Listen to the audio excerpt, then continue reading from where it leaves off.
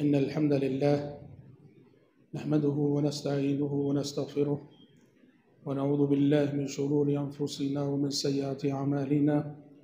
من يهده الله فلا مضل له ومن يضلل فلا هادي له وأشهد أن لا إله إلا الله وحده لا شريك له وأشهد أن محمدا عبده ورسوله.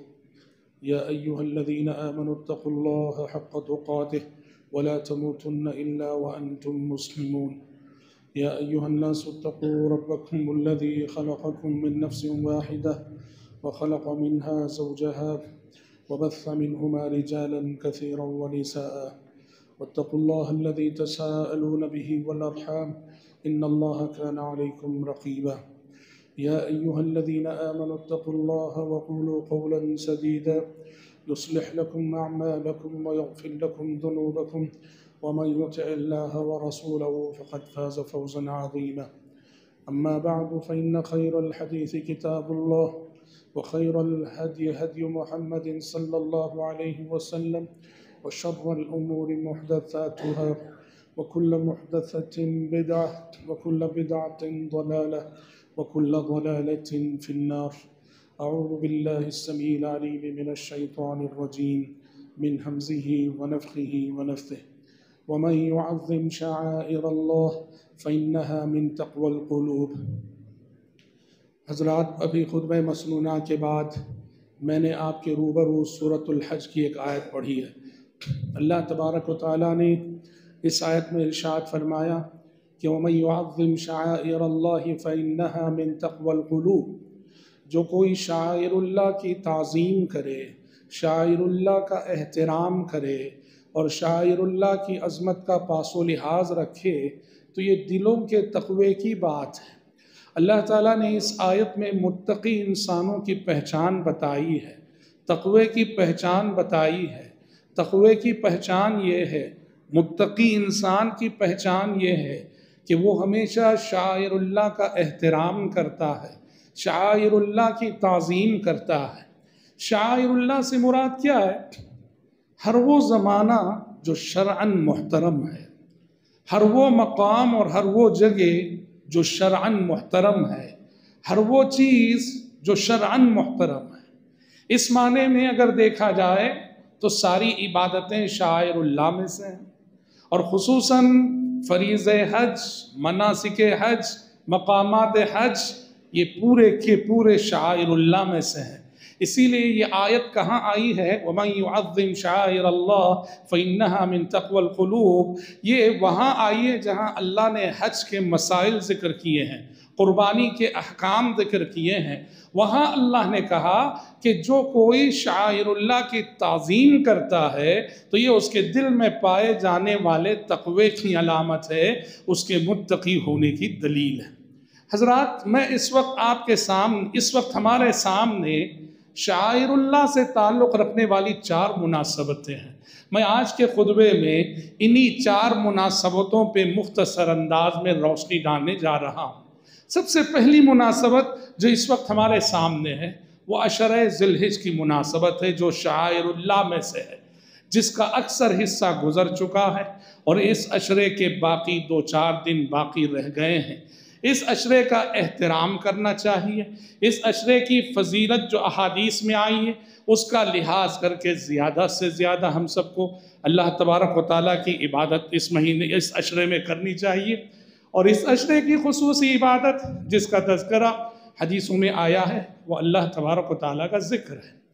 اللہ تبارک و تعالیٰ کا ذکر کثرت سے کرنا چاہیے۔ صحابہ کے بارے میں حضرت ابن عمر، حضرت ابو حریرہ اور دوسرے صحابہ کے بارے میں آتا ہے کہ یہ عشرہ جب آتا تھا، مارکیٹ میں چلے جاتے تھے، بازار میں چلے جاتے تھے اور باواز بلند اللہ تبارک و تعالیٰ کی تکبیر کہنے لگتے تھے اور ان کی تکبیر کی آواز کو سن کر بازار والے بھی اللہ کا ذکر کرنے لگتے تھے اور دیکھتے ہی دیکھتے بازار تکبیر کی آواز سے گونجنے لگتا تھا۔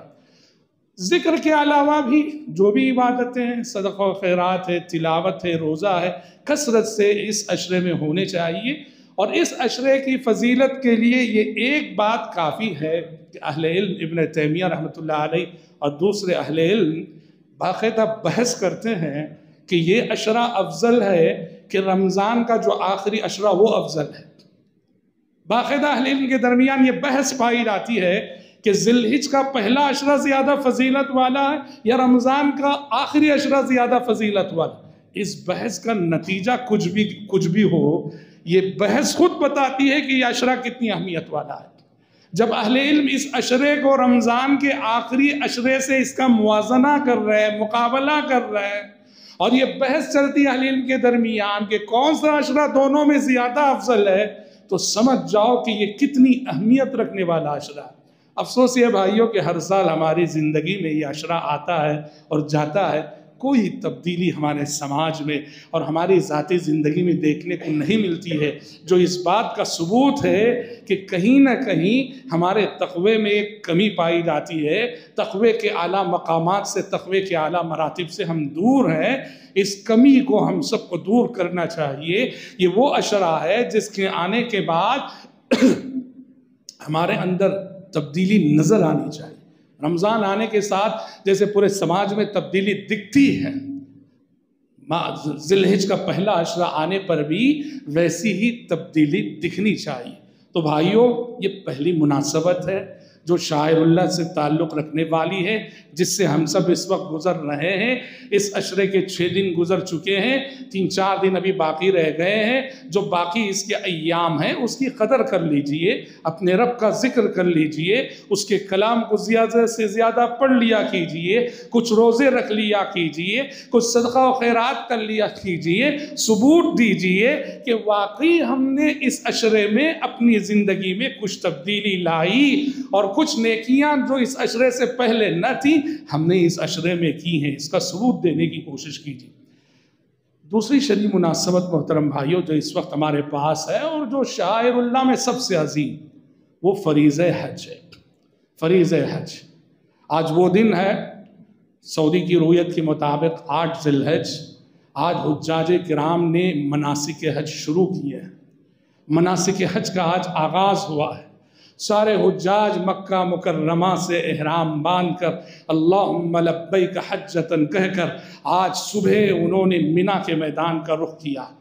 منا کا میدان جو حرم شریف سے پانچ چھ کلومیٹر کی مسافت پہ واقع ہے، وہاں جاتے ہیں۔ وہاں جا کر حجاج کرام خیمزن ہوتے ہیں۔ اور یہ وہ میدان ہے جس میدان سے ابراہیم علیہ السلام کی زندگی کی بہت ساری یادیں وابستہ اسی لیے آپ دیکھیے محترم بھائیوں حج کے اکثر اعمال کا تعلق اسی میدان سے حاجی حضرات جو اعمال بجا لاتے ہیں، اکثر اعمال کا تعلق اسی میدان سے زیادہ سے زیادہ وقوف اسی میدان کا ان کو کرنا پڑتا ہے۔ اسی میدان میں کنکریاں ماری جاتی ہیں، جمرات کو۔ اسی میدان میں قربانی کی جاتی ہے۔ اسی میدان میں سر کے بال نکالے جاتے ہیں۔ اسی میدان میں راتیں گزارنی واجب ہوتی ہیں حجاج کرام کے لیے۔ حج کے جو اکثر اعمال ہیں، وہ مینا کے میدان ہی سے متعلق ہیں۔ اور حج کے اکثر ایام بھی اسی میدان میں گزارے جاتے ہیں۔ حج کو چھ دنوں پر مشتمل ہوتا ہے۔ آٹھ ذیل سے تیرہ ذیل تک۔ آٹھ ذیل سے تیرہ ذیل جو چھ ایام ہیں، آپ غور کیجیے تو ان میں سے پانچ دن مینا کے میدان میں گزرتے ہیں۔ حجاج کرام کے پانچ دن مینا کے میدان میں گزرتے ہیں۔ صرف ایک دن اور ایک رات ہے جو مینا کے میدان سے ہٹ کر۔ ایک رات مزدلفہ کی، ایک دن عرفہ کا۔ اس سے ہٹ کر باقی جو پانچ دن ہے آٹھ ذل ہے دس ذل ہے گیارہ ذل ہے بارہ ذل ہے تیرہ ذل ہے یہ پانچ دن مینا کے میدان میں گزرتے ہیں۔ تو اکثر اعمال اسی میدان سے متعلق اور اکثر وقت حجاج کرام اسی میدان میں گزارتے ہیں۔ آج سارے حاجی مینا کے میدان میں جائیں گے، اپنے اپنے خیموں میں رہیں گے، جن کے پاس خیمے نہیں، وہ مسجد خیف میں رہیں گے اور ہر نماز کو اس کے وقت میں پڑھیں گے۔ چار رکعت والی نماز دو دو رکعت کر کے پڑھیں گے اور کل صبح فجر بعد طلوع آفتاب کے بعد حجاج کرام رخ کریں گے میدان عرفات کا۔ میدان عرفات جو تقریباً مینا کے میدان سے نو دس کلومیٹر دور ہے۔ بہت سارے تو بسوں میں جاتے ہیں۔ لیکن سبحان اللہ بڑی تعداد پیدل چل کے جاتی ہے اور اللہ ایسی روحانی قوت دے دیتا ہے۔ ہم نے ان آنکھوں سے دیکھا، بوڑھوں کو، ضعیفوں کو، کمزوروں کو، وہ کیسی روحانی طاقت آ جاتی ہے۔ یہ دس دس کلومیٹر کی مسافت پیدل چل کر اللہ اکبر تکبیر کہتے ہوئے تلبیہ کہتے ہوئے وہ عرفہ کے میدان کا رخ کرتے ہیں۔ عرفہ کے میدان میں پہنچتے ہیں۔ میدان عرفہ سب سے پہلے۔ میدان عرفہ، نوزل ہی جہاں گزارتے ہیں حجاج کرام۔ عرفہ کو عرفہ کیوں گیا؟ تاریخی اعتبار سے کہا جاتا ہے۔ عرفہ کے میدان میں عربی زبان میں عرفہ کے معنی پہچاننے کے آتے ہیں۔ کہتے ہیں کہ آدم و حوا علیہ السلام کو جب زمین پر اتارا گیا، الگ الگ مقام پہ اتارا گیا، آدم اور حوا کی جو ملاقات ہوئی پہلی مرتبہ زمین پر اور دونوں نے ایک دوسرے کو جو پہچانا، اسی میدان عرفہ میں پہچانا تھا۔ عرفہ کے معنی عربی میں پہچاننے کے آتے ہیں۔ بابا آدم نے ماں ہوا کو اسی میدان میں پہچانا تھا، اسی لیے اس میدان کا نام پڑ گیا میدان عرف۔ یہاں حجاج کرام پہنچتے ہیں، یہاں بھی ان کے خیمے لگے رہتے ہیں۔ مسجد نمرہ ہوتی ہے یہاں، جن کے خیمے نہیں، وہ مسجد میں رہتے ہیں۔ یہاں امام کا خطبہ سنا جاتا ہے۔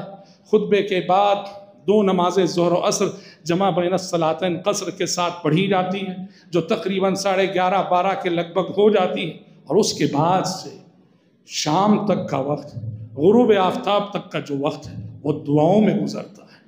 میں سمجھتا ہوں، میں سمجھتا ہوں کہ حج پہ جانے والے لوگ اپنی زندگی کی طویل سے طویل، لمبی سے لمبی دعائیں اگر کبھی کرتے ہیں، وہ اسی دن۔ واللہ العظیم، بارہ ایک بجے جو ہاتھ اٹھتے ہیں، آپ یقین کریں گے ان میں سے بعض ہاتھ ایسے بھی ہوتے ہیں، مغرب تک وہ ہاتھ نیچے پھر نہیں آتے۔ اللہ اکبر، آپ دیکھ لیں گے وہ وہ منظر دیکھیے گا۔ زندگی کی اپنی سب سے طویل دعا جو حجاج کرتے ہیں، اسی میدان میں کرتے ہیں۔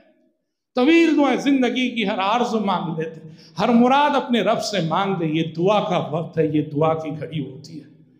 اسی لیے حدیثوں میں بھی آتا ہے کہ میدان عرفہ کا یہ جو دن ہوتا ہے یہاں جو حجاج کا توازو ان کی گری اوزاری ان کا رونا، ان کی انعامت اللہ اللہ کی جناب میں ان کی جو توبہ ہوتی ہے، اللہ رب العزت کی رحمت بھی جوش میں آتی ہے۔ اللہ فرشتوں سے پوچھتا ہے، اے فرشتوں، دیکھو میرے ان بندوں کو۔ ما ارادہ اولا کیا چاہتے ہیں میرے بندے؟ کیا چاہتے ہیں میرے بندے؟ ان کی مراد کیا ہے؟ ان کی آرزو کیا ہے؟ یہ مجھ سے کیا چاہتے ہیں؟ کہتا ہے، گواہ رہو، میں نے اپنی ان بندوں کو معاف کر دیا ہے۔ پیارے نبی فرماتے ہیں، پورے سال میں، پورے سال میں جتنے لوگ نعرے جہنم سے عرفہ کے دن آزاد کیے جاتے ہیں، پورے سال میں کبھی نہیں۔ یہ پورے سال کا اس اعتبار سے سب سے مبارک دن ہے بھائیوں کہ یہ جو نو ذلحج وقوف عرفہ کا دن ہوتا ہے سب سے زیادہ گنہگار دھلے جاتے ہیں، معاف کیے جاتے ہیں، ان پہ اللہ کی رحمت کا فیضان ہوتا ہے، بارش رحمت میں نہاتے ہیں اور اللہ بے شمار بے شمار لوگوں کو اس دن نار جہنم سے آزاد کرتا ہے۔ اور ایسی بات نہیں نار جہنم سے یہ آزادی صرف حجاج کے لیے نہیں، سبھی اہل علم نے لکھا ہے، حجاج تو اصل ہے۔ حجاج کے علاوہ دنیا بھر کے مسلمانوں کے لیے بھی نار جہنم سے آزادی کی یہ بشارت اس دن حاصل ہوگی اور حاصل ہے۔ اسی لیے پیارے نبی نے اس رکن کی اہمیت بتاتے ہوئے کہا، الحج عرفہ۔ کہ حج اگر ہے تو وہ عرفہ کے وقوف ہی کا نام۔ عرفہ کا وقوف جس سے چھوٹ گیا، اس کا حج بھی باطل ہو گیا۔ حج کے لیے عرفہ کے میدان میں ٹہرنا ضروری ہو۔ وہاں ایک پہاڑ ہے جبل رحمت۔ پیارے نبی نے اس پہ وقوف کیا تھا۔ تو لوگ جاتے ہیں، وہاں ٹہرتے ہیں۔ بہت اچھی بات ہے۔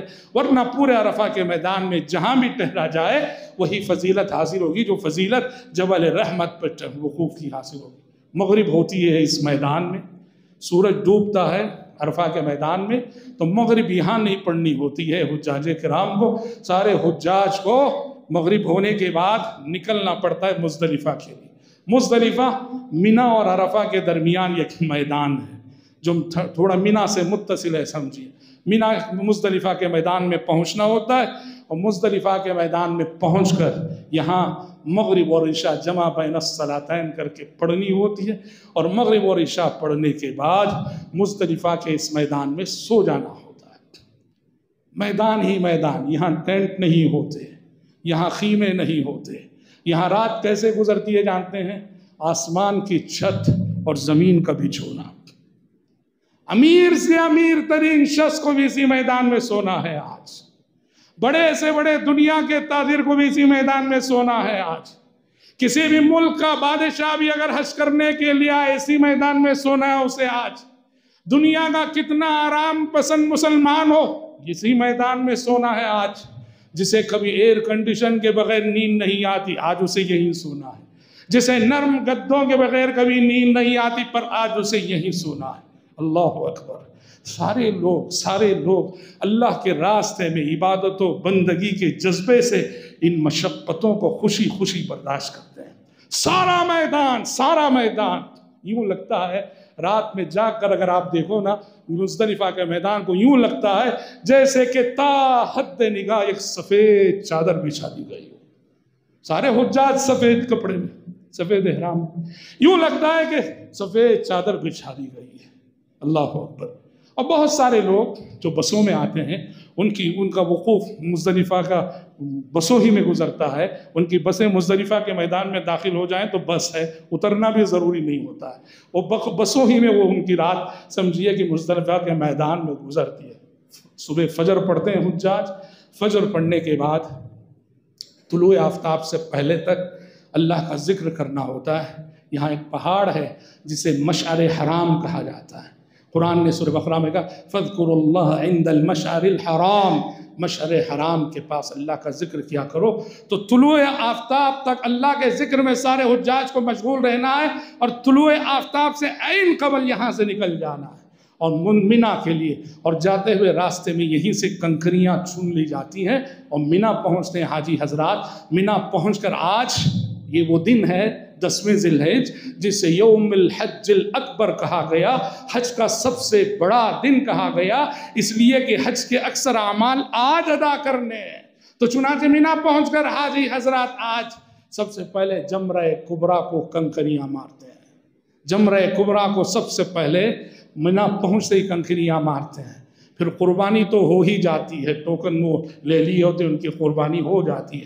قربانی ہونے کے بعد سر کے بال نکالے جاتے ہیں اور سر کے بال نکالنے کے بعد سارے حجاج کو رخ کرنا پڑتا ہے پھر سے خانہ کعبہ کا، مسجد حرام کا، کہ آج انہیں ایک طواف کرنا ہے، جسے طواف زیارت کہتے ہیں، جسے طواف افاظہ کہتے ہیں، جو کہ حج کا رکن ہے۔ اور آج حرم شریف میں طواف افاظہ کے وقت اتنی بھیڑ ہوتی ہے، اتنی بھیڑ ہوتی ہے۔ واللہ العظیم، سال کے تین سو ساٹھ دنوں میں حرم کبھی اتنا، اتنی بھیڑ نہیں ہوتی، اتنا رش نہیں ہوتا جتنا کہ اس دن اس گھڑی ہوتا ہے، طواف زیارت کے۔ اسی لیے شریعت نے گنجائش رکھی ہے، جو زوافہ ہیں، کمزور ہیں، وہ اگر آج کے دن زوافہ نہیں، دوسرے لوگ بھی اگر دسویں تاریخ کو کرنے کے بجائے طواف زیارت گیارہ کو کرنا چاہیں، پرمیشن نہیں، اجازت ہے۔ کوئی حرج نہیں کہ بھیڑ کم ہو جائے۔ بہرحال طواف زیارت کرنا، طواف حفاظہ کرنا، اور طواف زیارت کرنے کے بعد سارے حجاج کو پھر شام تک لوٹ کر، پلٹ کر مینا آنا ہے۔ اس لیے کہ مینا میں رات گزارنا واجب ہے۔ مینا میں رات گزارنا واجب ہے۔ تو آدھی رات صحیح، جب بھی ہو، طواف ختم ہونے کے بعد مینا لوٹنا ہر حاجی کے لیے ضروری ہو جاتا ہے۔ اب مینا لوٹنے کے بعد، سمجھیے کہ وہ گیارہ بارہ تیرہ یہ تین دن منا کے میدان میں ٹہرنا ہے۔ ہر دن زوال کے بعد تینوں جمرات کو ساتھ ساتھ کنکریاں مارنی ہیں اور رات منا میں گزارنی ہے کمزوروں اور ضعیفوں کے لیے شریعت نے یہاں بھی یہ گنجائش رکھی ہے، جو ضعیف ہیں، کمزور ہیں، ان کے بدل کوئی دوسرے لوگ کنکریاں مار سکتے ہیں۔ وہ وہاں تک پہنچ نہیں سکتے، ضعیف مریض بیمار، تو ان کے بدلے، ان کے کوئی بھی رشتہ دار، کوئی بھی وہاں ان کی جانب سے کنکریاں مار سکتے ہیں۔ اور یہاں مینا کے میدان میں ہر نماز کو اس کے وقت پہ دو دو رکعت کر کے پڑھنی ہوتی ہے، بارہ تیرہ تک۔ حضرت عثمان نے، دیکھو اللہ کے نبی صلی اللہ علیہ وسلم نے مینا کے میدان میں ہر نماز یعنی جو چار رکعت والی نمازیں ہیں، قصر کر کے دو دو پڑھی تھی۔ ظہر دو، عصر دو عشاء حضرت عثمان نے اپنے زمانے خلافت میں یہ جو دو دو رکعت والی نماز تھی اپنے زمانے خلافت میں حضرت عثمان نے چار چار کر کے پڑھائی۔ ظہر چار، عصر چار، عشاء چار۔ کیوں؟ بعض صحابہ نے سخت اعتراض بھی عبداللہ بن مسعود رضی اللہ عنہ نے کہا، امیر المومنین، آپ سنت رسول کی خلاف ورزی کر رہے ہیں۔ پیارے نبی نے یہاں دو دو پڑھی آپ چار پڑھ رہے ہیں۔ حضرت عثمان کا ایک عذر تھا۔ کیا عذر تھا؟ جانتے ہیں، دو ریزن تھے چار پڑھنے کے۔ پہلا ریزن یہ تھا حضرت عثمان کہتے تھے کہ مینا میں میرے اتنے رشتہ دار رہتے ہیں پہلے سے، مینا میرے لیے دوسرا گاؤں ہے، مینا میرے لیے دوسری بستی ہے۔ اسے میں میں یہاں اپنے آپ کو مسافر نہیں سمجھتا، یہ میرے لیے میرا اپنا دوسرا شہر ہے، اس لیے میں مکمل پڑھ رہا ہوں۔ ایک ریزن تو ہی دوسرا ریزن جو تھا، وہ وہ جو ہے۔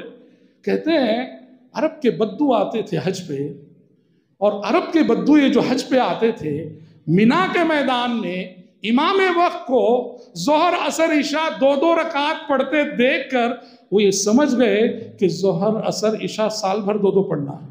ان کے بارے میں حضرت عثمان کو یہ رپورٹ ملی، یہ لوگ جب واپس اپنے وطن گئے، اپنے شہروں کو گئے، سال بھر ظہر اثر اور عشاء دو دو کر کے پڑھتے رہے۔ تب حضرت عثمان نے، دیکھیے آپ آپ نے اگر بدوؤں کو دیکھا ہوگا تو یہ بات سمجھ میں آئے گی۔ بدو لوگ جو ایک دم دیہاتی ہوتے ہیں وہ تہذیب، تمدن، ادب، اخلاق، علم سب سے دور ہوتے ہیں۔ انہیں کوئی بھی چیز سمجھانا بڑا مشکل ہوتا ہے۔ حضرت عثمان نے ان بدوؤں کو یہ پیغام دینے کے لیے، یہ میسج دینے کے لیے کہ ظہر چار رکعت ہے اصل میں اصل چار رکعت ہے اصل میں، عشاء چار رکعت ہے اصل میں، وہ ایک ریزن تھا کہ انہوں نے چار رکعت کر کے پڑھا ہے۔ بہرحال حضرت عثمان نے ایک ریزن سے وہاں چار پڑھائی، صحابہ نے ان پہ نکیر تو کیا، لیکن حضرت عبداللہ بن مسعود رضی اللہ عنہ جنہوں نے ان پہ نکیر کی، وہ ان کے پیچھے چار رکعت پڑھتے تھے۔ لوگوں نے کہا، عبداللہ بن مسعود، آپ نے تو امیر المومنین پہ اعتراض کیا چار پڑھنے پر کہ دو پڑھنا چاہیے، پر آپ ان کے پیچھے چار پڑھ رہے نا حضرت عبداللہ بن مسعود نے کہا، الخلاف الشر، میں خلیف وقت کے خلاف بغاوت کر کے مسلمانوں میں پھوٹ ڈالنا نہیں چاہتا۔ میں پھوٹ ڈالنا نہیں چاہتا مسلمان۔ اس طرح سے حضرات، یہ فریض حج بیت اللہ کی دوسری مناسبت ہے۔ ویسے الحمدللہ، شکر ہے اللہ تبارک و تعالیٰ کا کہ ہم سب لوگوں کو حج نصیب ہوا ہے سعودی حکومت کے دور میں۔ سفر حج کوئی معمولی سفر نہ تھا بھائیو، ایک بات یاد رکھیے ایک کوئی معمولی سفر نہیں۔ تاریخ پڑھی آپ، ہسٹری پڑھی آپ۔ یہ خطرات سے بھرا ہوا سفر تھا یہ۔ پہلے حجاج حج کے لیے اپنے گھر سے نکلتے تو کسی کو یقین نہ تھا کہ میں زندہ لوٹ کے آؤں گا۔ یہ بات یاد رکھیں۔ اس لیے آپ دیکھیں گے کہ ایک روایت رہی قدیم زمانے میں، حج کو جاتے ہوئے ہر حاجی سب سے معافی مانگ کے جاتا تھا، کیونکہ لوٹنے کا یقین اس لیے۔ اتنا ہی نہیں، حج کو جاتے ہوئے حجاج کرام اپنے ساتھ کفن کا کپڑا بھی لے کے جاتے تھے۔ خطرات سے بھرا ہوا سفر تھا۔ لوٹ لیے جاتے تھے حجاج کرام۔ ڈاکوؤں کے حملے ہو جاتے تھے۔ آپ اندازہ کیجیے کہ یہ سفر کتنے خطرات سے بھرا ہوا رہتا تھا کہ وقتاً فوقتاً مختلف ملکوں کے اہل علم نے، اب اس سے قطع نظر کہ وہ فتویٰ کہاں تک صحیح، غلط، اس سے اس سے قطع نظر۔ خطرات اتنے تھے کہ وقتاً فوقتاً مختلف ممالک کے اہل علم نے حالات کے پیش نظر وہ فتویٰ دیا کرتے تھے۔ امسال حج کی فرضیت ہمارے ملک والوں کے لیے ساخت ہے۔ ہمارے ملک والوں پر حج فرض نہیں ہے، اس لیے کہ راستہ پرامن نہیں ہے خطرات سے بھرا ہوا ہے۔ ایسے میں محترم بھائیوں سعودی حکومت کا عالم اسلام پہ یہ احسان ہے کہ عبادت حج کو، مناسک حج کو اس حکومت نے جتنا آسان بنایا ہے، سفر حج جتنا پرامن سعودی حکومت کے دور میں ہوا ہے، خطرات سے دور حجاج کی جانوں کی حفاظت، مال کی حفاظت، آبرو کی حفاظت، حجاج کے ہر طرح کے آرام اور راحت اور کسی بھی قسم کے خطرات سے بچ کر امن کے ساتھ، عافیت کے ساتھ حج کرنے میں جو سہولتیں سعودی حکومت دن بدن دے رہی ہے، اس پر وہ ہم سب کے شکریہ کے مستحق ہیں۔ یہ کسی قسم کی چاپلوسی کی بات میں نہیں کر رہا ہوں۔ حقیقت ہے حقیقت ہے، جو احسان ہے، اس احسان کو ماننا ضروری ہوتا ہے۔ حل جزاء الاحسان الا الاحسان؟ آپ نے دیکھا کہ اس سال الحمدللہ جو ضعیف حاجی ہیں، کمزور حاجی ہیں، بیمار حاجی ہیں، ان کے لیے، طواف کرنے کے لیے ہاں الیکٹرک سسٹم پر مشتمل جو کاریں ہیں، وہ انہوں نے الحمدللہ تیار کر دی ہیں۔ الیکٹرک کاروں میں طواف ہونے لگا ہے۔ جیسے پیارے نبی اونٹ پہ بیٹھ کے طواف کرتے تھے اس دور کی سواری۔ ویسے انہوں نے کاریں فراہم کر دی ہیں حجاج کے لیے، ضعیفوں، کمزوروں، بوڑھوں اور سندسیدہ لوگوں کے لیے۔ الحمدللہ، کیسی، کس آسانی کے ساتھ ان کا طواف ہو رہا ہے؟ اتنا ہی نہیں، اڑنے والی، پرواز کرنے والی ٹیکسی انہوں نے حجاج کرام کے لیے کہتے ہیں، دنیا میں پہلی مرتبہ پہلا مقام اور پہلا موقع ہے جہاں حجاج کرام کے لیے سعودی حکومت نے ایسی ٹیکسی جو پرواز کرنے والی، اڑنے والی۔ تو یقین کیجیے، سعودی حکومت کے دور میں جو انہیں حج نصیب ہوا ہے وہ اس حیثیت سے بڑے خوش نصیب ہے کہ ان کا حج خطرات سے محفوظ ہے اور پورے امن کے ساتھ، عافیت کے ساتھ، چین کے ساتھ اور سکون کے ساتھ یہ لوگ حج کرتے ہیں۔ اس پر ہم سب کو اللہ کا بھی شکر گزار ہونا چاہیے اور سعودی حکومت کا بھی شکر گزار ہونا چاہیے۔ بہرحال یہ دوسری شرعی مناسبت جس کا تعلق شاعر اللہ سے ہے۔ تیسری شرعی مناسبت جس کا تعلق شاعر اللہ سے قربانی قربانی کی عبادت جو ہم سب انشاءاللہ کرنے والے ہیں۔ تو قربانی محترم بھائیوں راجہ بات یہ ہے، وہ سنت موقعہ ہے۔ وہ سنت موقعہ ہے راج خول کے مطابق اور اس کے سنت ہونے کا سب سے بڑا ثبوت یہ ہے۔ خلفۂ راشدین کے بارے میں آتا ہے کہ کسی کسی سال وہ آمدن جان بوجھ کر چھوڑ دیا کرتے تھے کہ کہیں لوگ اسے فرض نہ سمجھ لیں۔ تو سنت موقعہ ہے۔ جس کو بھی اللہ نے استطاعت دی ہے، حیثیت دی اسے قربانی ضرور کرنی چاہیے۔ اس میں کوتاہی نہیں کرنا چاہیے۔ منکرین حدیث کچھ شوشہ یہاں چھوڑتے ہیں کہ قربانی کرنا یہ مال کا ضیاء ہے۔ اتنے لاکھ جانور کٹتے ہیں، اتنے کروڑ جانور کٹتے ہیں۔ اگر یہی پیسہ ہسپتال بنانے میں لگایا جائے، فلاں چیز بنانے میں لگایا لگایا جائے، بکواس ہے یہ سب۔ بکواس ہے۔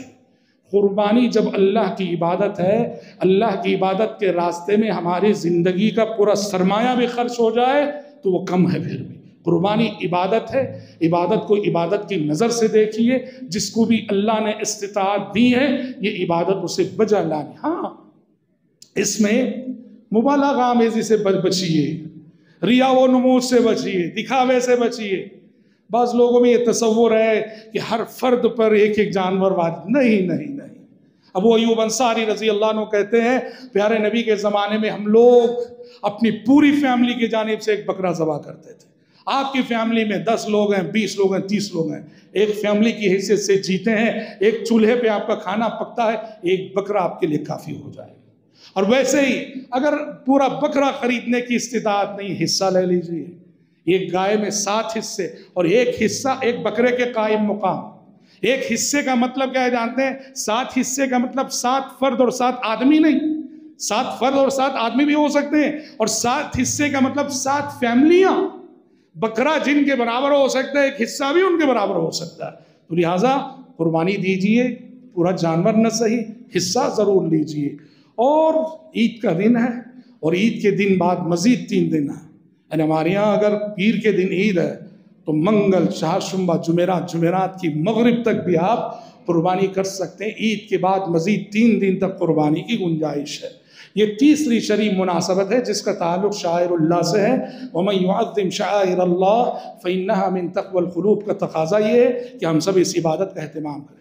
چوتھی شریع مناسبت بھائیوں عید الاضحیٰ کی مناسبت۔ الحمدللہ، عید الاضحیٰ، عید قرما آنے والی ہے۔ ہم سب بإذن اللہ تعالی آنے والی پیر کو عید الاضحیٰ منانے والے ہیں۔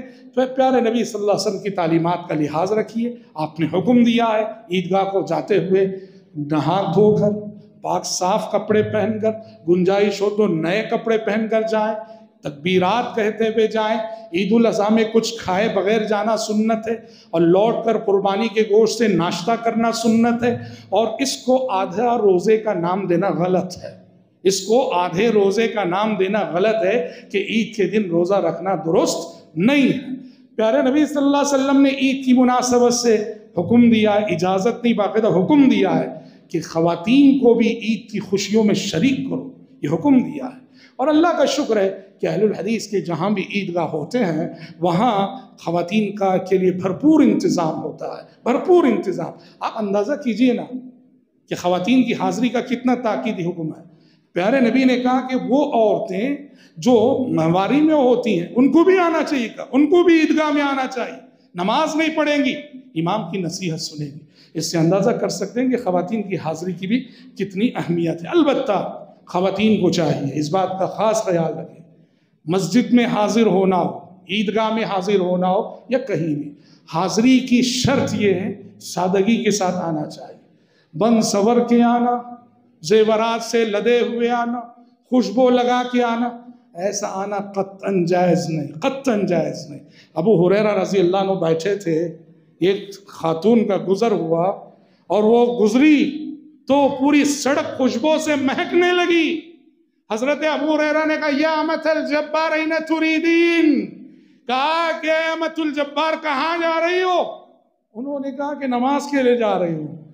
حضرت ابو حریرہ نے کہا، نماز کے لیے جا رہی ہوں اور اس حال میں خوشبو خوشبو لگائے، واپس چلو، واپس جاؤ۔ جب تک تم غسل نہیں کرو گی، اللہ تمہاری نماز قبول نہیں کرے اس لیے ہماری مائیں بہنیں یاد رکھیں، صحیح ہے، عید کا دن ہے، بننا سورنا آپ کا حق ہے، لیکن یہ نماز سے جب واپس گھر لوٹیں گے تب نماز کو پوری سادگی کے ساتھ آئیے۔ یہاں زیورات سے لدے ہوئے آنا کوئی معنی نہیں رکھتا۔ اور یہاں خوشبو خوشبو لگا کے آنا بالکل غلط ہے۔ ایسا آنا درست نہیں۔ آئیے، عیدگاہ آئیے اور سادگی کے ساتھ آئیے۔ ہم خواتین سے گزارش کرتے ہیں کہ خاص اس بات کا خاص خیال رکھیں، یہ بہت بڑی غلطی ہوتی ہے۔ بند سور کے آنا، خوشبو خوشبو سب لگا کے آنا۔ اور خطبے کے اختتام پر یہ بات بھی بہت ضروری میں بتانا سمجھتا ہوں۔ سوم و یوم عرفہ۔ عرفہ کے دن کا روزہ اس کی بڑی اہمیت ہے۔ آپ صلی اللہ علیہ وسلم نے کہا، یہ دو سال کے گناہوں کا کفارہ بنتا ہے۔ لہٰذا اپنی اپنی رویت کی مطابق، اپنی اپنی تمام اہلین کے فتوے پڑھ لیجیے آپ۔ خواہ مخواہ اس میں بحثوں میں الجھنا۔ ہاں شیخ حسین ہو دوسرے بڑے بڑے اہلین کے فتوے پڑھ لیجیے۔ عرفہ، بھلے سے وہاں وہاں جو ہے کل وہ ٹہرتے ہوں وقوف عرفہ کل ہوتا ہو۔ لیکن ہر ہماری رویت کے اعتبار سے نو تاریخ چونکہ وہاں ہوتی ہے عرفہ کے دن، ہمارے ہاں جب نو تاریخ ہے تب ہم عرفہ کا روزہ رکھیں گے۔ اس میں خواہ مخواہ پیسوں مباحثے میں نہ الجھیں، نہ الجھائیں۔ عرفہ کا روزہ یہ دو سال کے گناہوں کا کفارہ بنتا ہے۔ اس روزے کا بھی خاص اہتمام مجھے، آپ سب کو، ہم سب کو کرنا چاہیے۔ میں خطبے کے اختتام پر رب العزت سے دعا کرتا ہوں کہ اللہ تبارک و تعالیٰ ان تمام شاعر کا ہم سب کو احترام کرنے کی توفیق عطا فرمائے۔ ان شاعر کی اللہ ہمیں دل سے تعظیم کرنے کی توفیق عطا فرمائے۔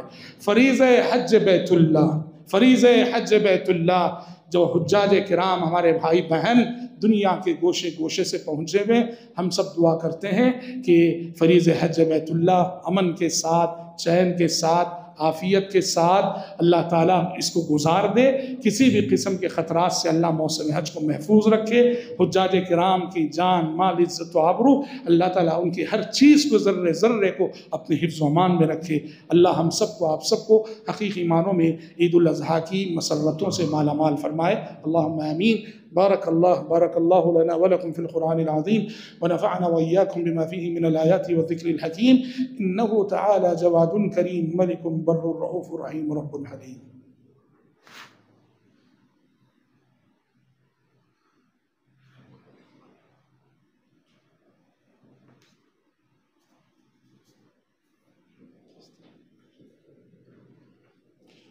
إن الحمد لله نحمده ونستعينه ونستغفره. ونعوذ بالله من شرور أنفسنا ومن سيئات أعمالنا. من يهده الله فلا مضل له ومن يضلل فلا هادي له. وأشهد أن لا إله إلا الله وحده لا شريك له وأشهد أن محمدا عبده ورسوله. أما بعد فإن خير الحديث كتاب الله وخير الهدي هدي محمد صلى الله عليه وسلم. وشر الأمور محدثاتها وكل محدثة بدعة وكل بدعة ضلالة وكل ضلالة في النار. أعوذ بالله السميع العليم من الشيطان الرجيم. إن الله وملائكته يصلون على النبي. يا أيها الذين آمنوا صلوا عليه وسلموا تسليما.